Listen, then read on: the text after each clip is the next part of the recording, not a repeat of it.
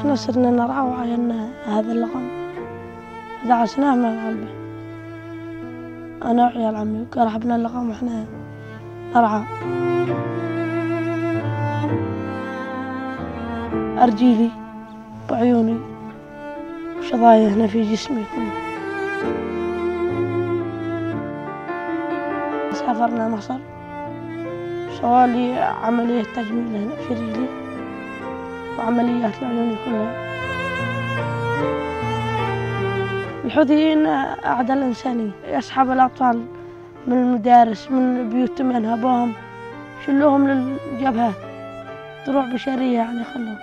حياة صعبة شوية يعني دحين ما أقدر أمشي مسافة طويلة دحين ما أقدر يعني ألعب كرة مع أصحابي.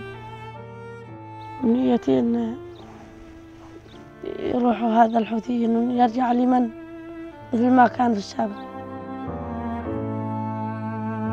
أتمنى إني أكون أكمل دراستي وأتخرج وأقع مدرس أتعلم وأعلم الأطفال الجيل الجاي.